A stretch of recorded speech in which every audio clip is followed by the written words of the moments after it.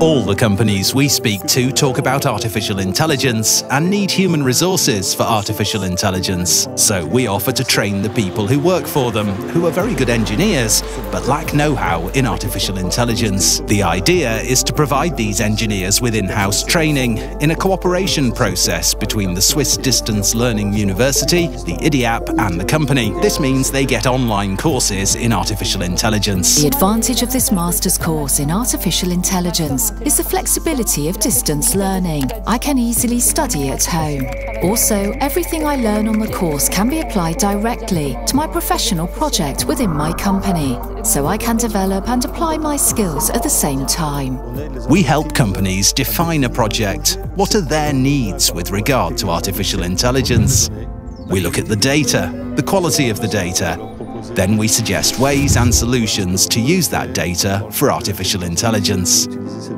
When the project is defined, it is developed together with the IDIAP, our researchers, our developers, software experts, and the company, which knows its needs better than anyone, as well as the employee who will study within the AI Masters.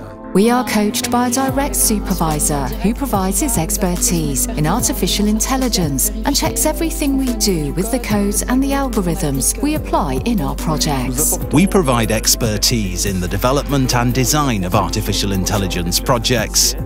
With the variety of artificial intelligence technologies that exist today, it is not always easy to find the right solution that will meet the requirements of a project. With my expertise, I can provide the best solution. We have a meeting every week in order to discuss technical questions on the algorithms and codes that I apply in my project. During these meetings, we discuss the work progress and any issue Columbine might have.